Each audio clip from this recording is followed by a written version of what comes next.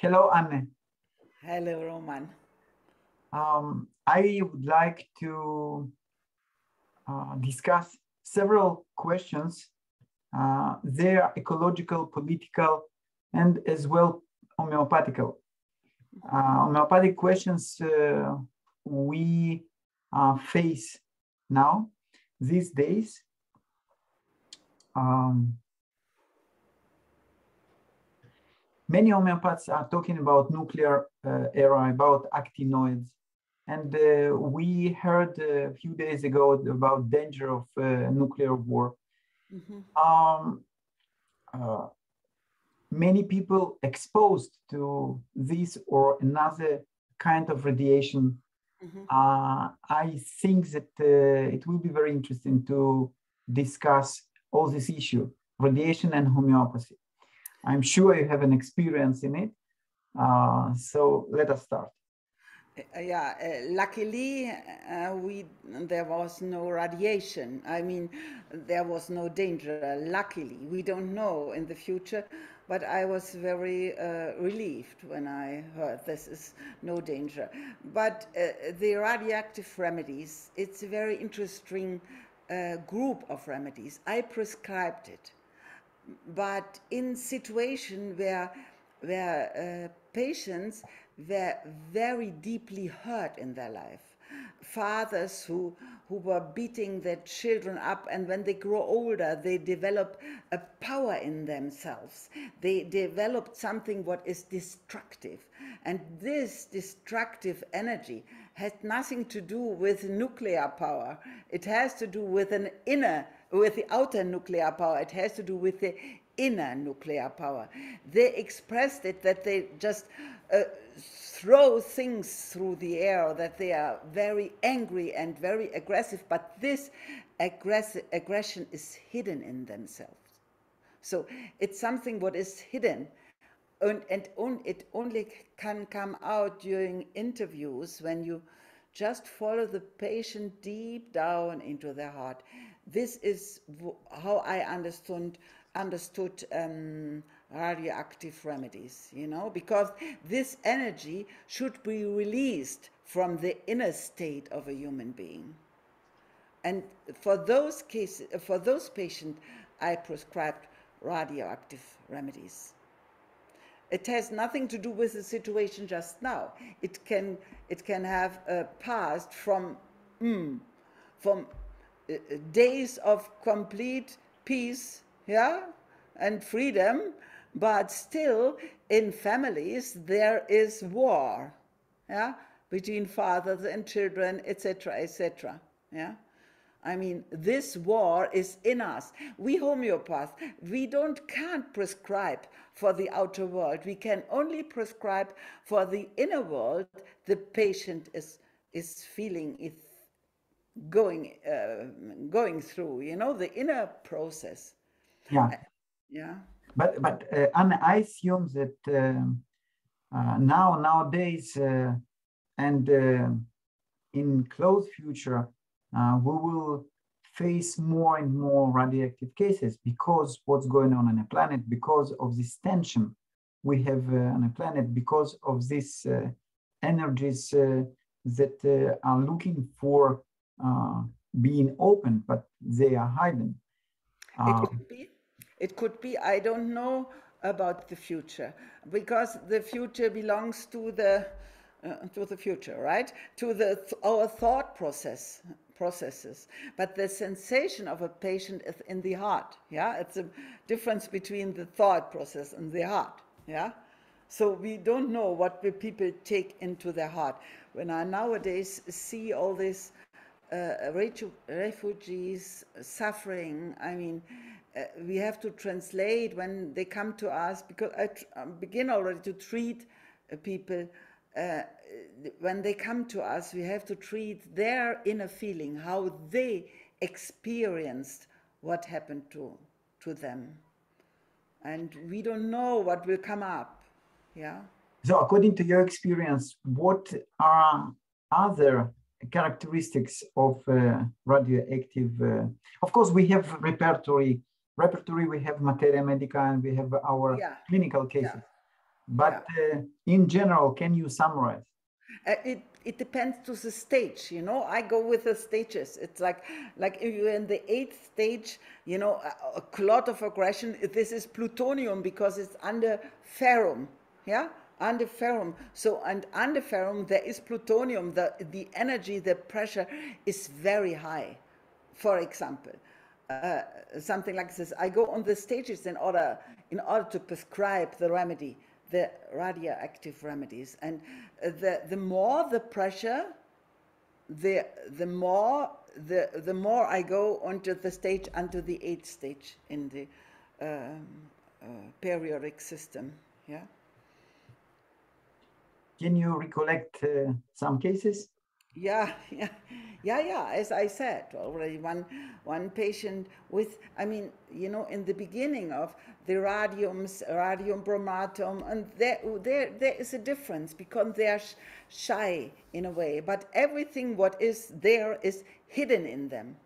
Yeah, even the shyness, even the the kind of anger is a hidden anger, and it can't explode, but it will explode at, at the at the final end. Yeah. So I mean, this is very it's the differentiation between the the uh, uh, radioactive remedy uh, on, and all the other remedies. At the beginning of the corona uh, situation, we discussed whether this the whole remedies have to do with the situation of of uh, the new pandemic, but it didn't turn out in my uh, practice that we need a lot of remedies due to the situation of corona. I didn't need all these remedies. I mean, I better went into uh, the, the mushrooms, the fungi groups, because this I saw much deeper. And the fungi and the radioactive remedies, they go together. They have something in similar but it's underneath, it's hidden, it can't come out, but it's more softer in a way. But it will poison the world. Uh, unfortunately, and many uh, colleagues are stressing these uh, similarities between radioactive and mushroom uh, mm-hmm. remedies. Uh, can you explore a little bit uh, more about this similarity and what you see. Uh, I will talk about about uh, mushroom remedies at the Wish conference in May, at the beginning of May. Yeah, I will talk a little bit more about the mushroom remedies. Even there, there is the the danger. I mean, the difference between the uh, radioactive remedies, there is anger hidden. In the in the uh, mushroom remedies is more uh, anxiety, fear, panic hidden in them, as far as I experience in my clinic. You know, the, the, the anxiety of something will come into us, you know, is going to affect us. It's going to give diseases to us. It's going to hurt us. This is a difference to the radioactive remedies because their anger is is something what happened to them and the reaction is anger but this anger is hidden. Actually you suggested uh, uh, you you were one of the first homeopaths uh, i talked uh, to uh, and uh, suggested a mushroom remedy for covid as well. Yeah yeah yeah right. That is how I, how i began with this because i discussed with my with my students groups group, I discussed it. Mm-hmm. I said, shall we take a radioactive remedy as a representative for this pandemic? It was in, in uh, March, no, in March, April uh, uh, 2020. I mean, just at the beginning. In order, you know, for me, it's not that the remedy itself is now important for patients. I want to uh, understand the life situation with a remedy even. So what? and at that moment we began to discuss, are this, is this a radioactive situation in life or, or question mark? And then we ended up with a mushroom remedy. I will talk about it, yeah. Uh, So uh, all together with radioactive and fungus remedies, mm-hmm. Do you see other groups that are coming close to this uh, uh, era? Yeah, and this is what I said already uh, uh, the heart remedies, because the heart remedies are important too, because the heart was infect, affected. Yeah, the, the deep processes of the heart. Yeah, this is what I see. And all the, the heart remedies came up. And what for me, what was a remedy, what was I was very often prescribed was causticum. I did a huge presentation on causticum because causticum is uh, is an alchemistic remedy. Hahnemann, uh, I, I, studied how Hahnemann prepared causticum on such an alchemistic way, and the alchemistic part of our life is a very important path because we are all alchemists. We homeopaths are alchemists we go the process of understanding something on a very deeper level, on the energetic level. Yeah, this is alchemy. And that's why for me, causticum was, is a remedy I prescribed so often, more often than all other remedies. You mean for uh, this uh, new disease? Yeah, for, yeah. For, okay. Because for, for, the, for people who are in, in, um, in, in uh, who, who are resist in understanding it and resist in i want don't want to do this i i'm going the the government is going to fight against us etc you know people with a lot of resistance and a lot of anger and a lot of uh, I mean, aggression. This is, but there's a difference to the aggression or the anger in the radioactive. Causticum is more softer because it's a Kali remedy. They want to to be always right, you know. It, this is what we see in the in the whole pandemics that everybody wants to be right. I am right. Uh, this means Kali, yeah. And causticum is a process of uh, of of fighting for my rights. Yeah? Because this went Kali, the the understanding of Kali is so so wonderful. I mean, I I mean, I often talked to Hahnemann and told him, you know, this was such a beautiful remedy. How can you come to those kind of processes to understand causticum, to give us causticum? Yeah. So can you talk a little bit more about, uh, please remind us about this process of preparing causticum and uh, your understanding of it? The the understanding. I mean, you know, it's for me difficult to to explain the present the the preparation of causticum in English. Yeah, but mm. it's it it, it can be read in uh, Hahnemann's. Uh, yeah, you know, uh, but the, the, causticum itself has something what is uh, um, what opens kalium, kalium, kali up. Yeah, so if you are right, right and wrong, you know, with Kali, you know, Kali always want to be right and wrong. And causticum opened this up, you know, it says, okay, you know, it's not that I have this in myself, I am right, the others are wrong, but Kali wants to fight for it. And this is what I understand with causticum and all the other problems, you know, with because we know we have this this voice problems, can't speak, you know, what is what does it mean to can't speak, you know, get hoarse. Yeah, mm, because uh, yeah, all the uh, hoarseness after cough. It is a very huge cough remedy, and a very a very good remedy for soreness in the throat. Yeah, that the throat is sore.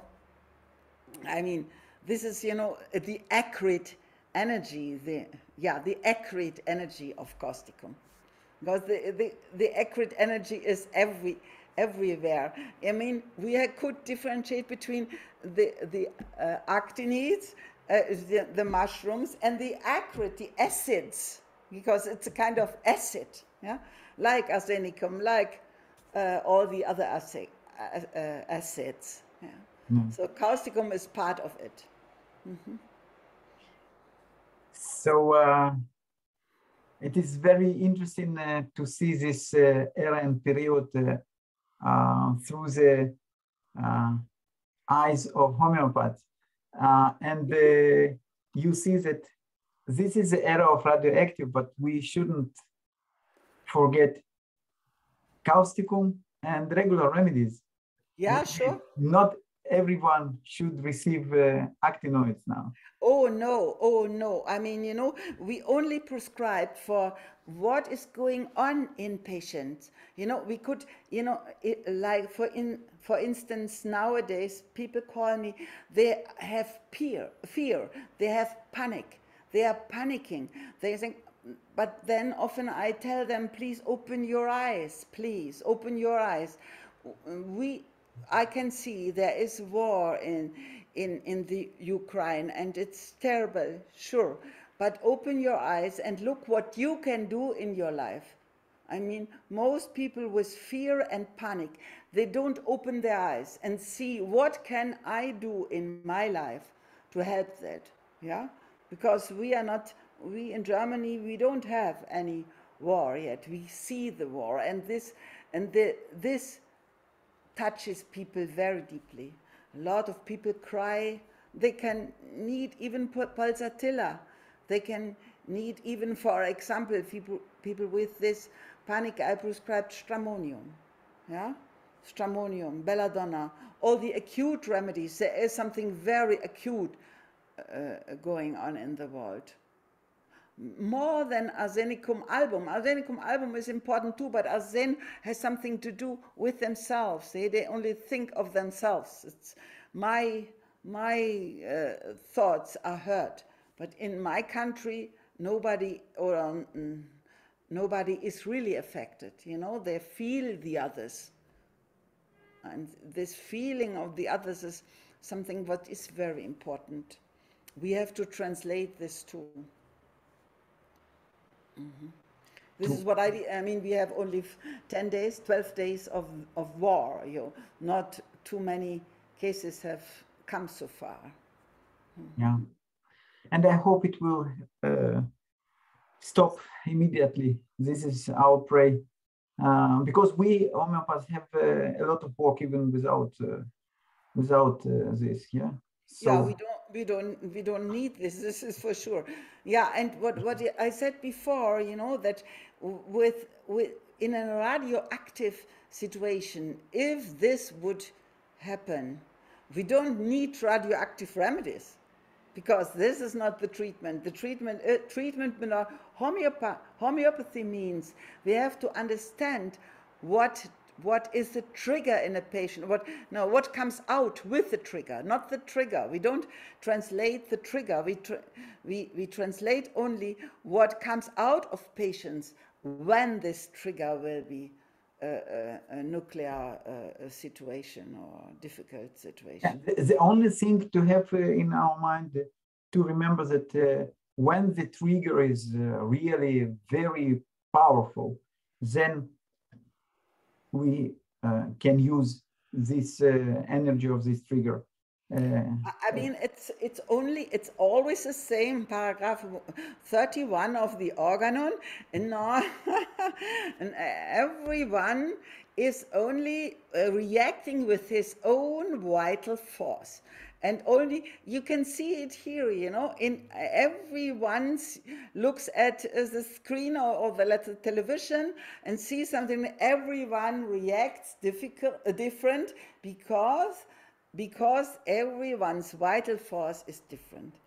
And i we, we have Hahnemann says this very uh, clearly.